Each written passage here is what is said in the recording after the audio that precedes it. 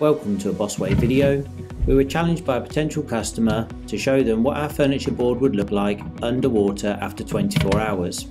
What we've done is set up a time-lapse camera to show what our furniture board will look like after 48 hours. We like a challenge and this is the result.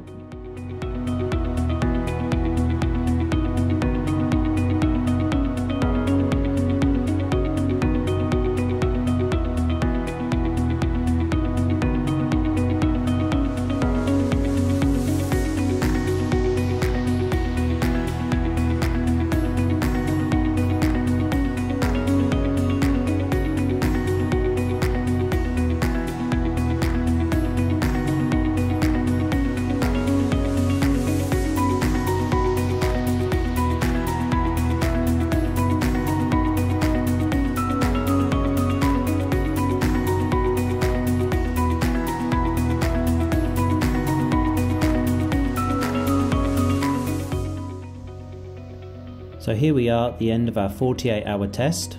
We've removed the board from the water and now we've taken some close-up photographs so you can see how our board fared after 48 hours underwater. You can see the laminate is still bonded to the board properly and the board has fared very well considering it's been underwater for two days. If you would like to contact us about purchasing boards, please go to our website which is www.bossway.co.uk. Thanks for watching.